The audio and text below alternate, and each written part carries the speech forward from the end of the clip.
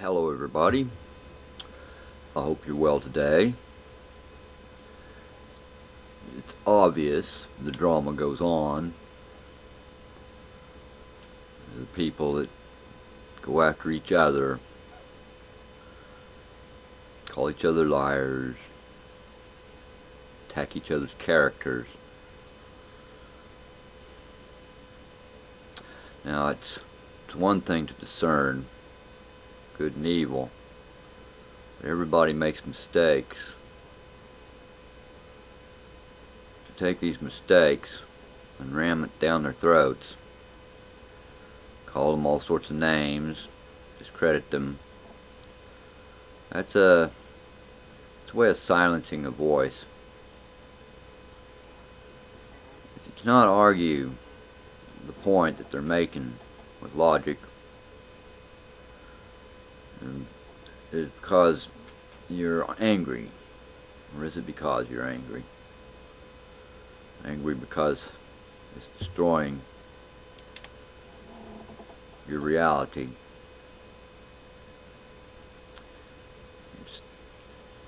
Have no argument against what's being said. That makes any sense. So you have to destroy the messenger messenger that's giving the message been the way it's always been. The reason uh, Yeshua, Jesus, was crucified wasn't because he committed any crimes. It's because of what he was saying. And what he was saying was so contrary to what they wanted people to believe and it made more sense than what they were pushing. They had to silence. You see, in trying to silence people like this, in trying to silence people like this, you actually make their point stronger. Do you think you fool the people who've seen it. Try to kill all the witnesses, yet Everybody sees the cruelty you place upon these people. Why are you killing all these people? Don't like what they say, huh? Who's worth killing at that point? How can you justify such things? Because you disagree with someone doesn't mean you have to destroy that person. That person may be wrong, and may actually be truthful person and honest person who has misled themselves. How can you bring them to truth? By calling them names. By mocking them. By trying to make them look like fools. How can you bring them to truth by doing this? How can you bring a person to truth like that? Oh, um, there's a point of an irritation I would like to kind of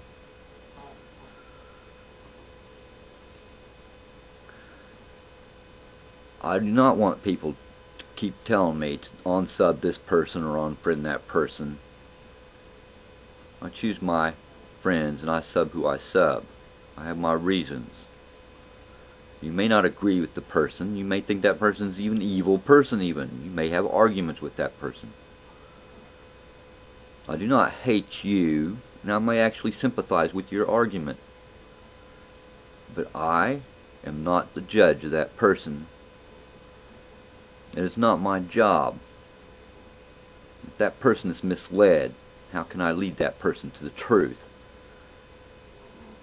If I do not have any contact with that person at all. If he cannot hear my message, if we cannot converse how can I do anything about it?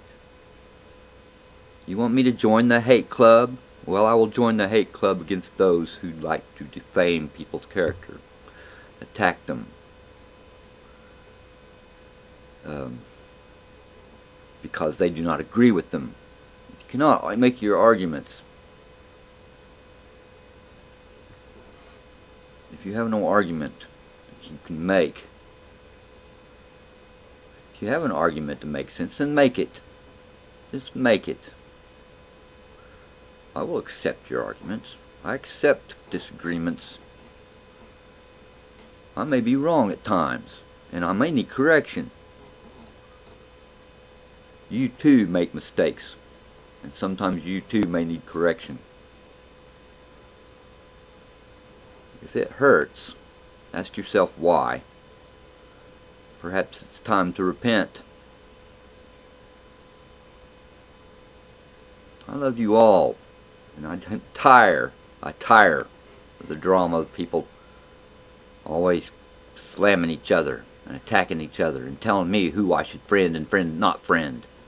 Or warning me about this guy's evil or that guy's evil. I have eyes. I can watch them and I can see. Peace be with you all, please. Times like this, we need to pull together and put aside our differences. We need to pull together, put aside our differences for the good of all mankind. Whether you like it or not, whether you like me or not, whether you like the other guy or not, we're all part of it. Stop being the madness. Let's come to reason Let's work together to solve these problems in a peaceful manner without harming one another in any way, if possible. But if I could save Caesar, I would try to. Please, let love guide your actions. What you're doing, an act of love, or an act of spite, pride, vengeance? Someone say something on a comment section that you didn't like, so you had to attack their character? What's the matter? Let's be real, people. Grow up. You got much time.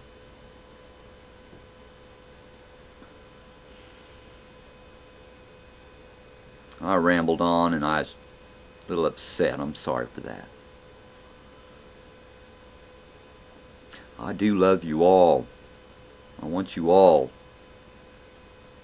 to have good lives and happy lives.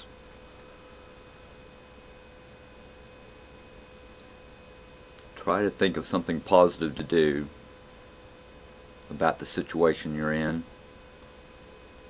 God be with you.